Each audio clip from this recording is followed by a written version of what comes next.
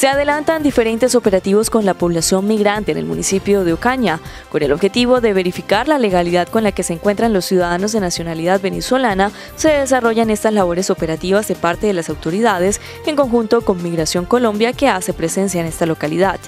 Dispuso eh, que Migración hacía la ubicación de personas eh, de nacionalidad venezolana que estuvieran eh, en el municipio de manera ilegal no contaran con el permiso de permanencia acá. Y en este operativo eh, fueron deportadas 35 eh, personas, 29 hombres y 6 mujeres, a quienes pues Migración previamente le hizo eh, un una completa verificación de sus datos, de todo sus, su arraigo, para determinar pues, que efectivamente estaban de manera ilegal.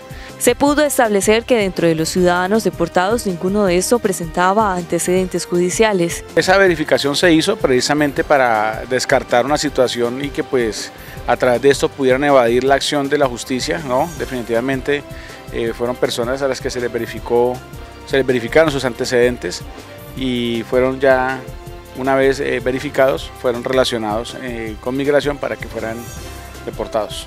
Para los próximos días se continuarán con los diferentes operativos en el municipio de Ocaña. Por lo tanto, se busca que la población migrante se encuentre bajo la legalidad en el municipio.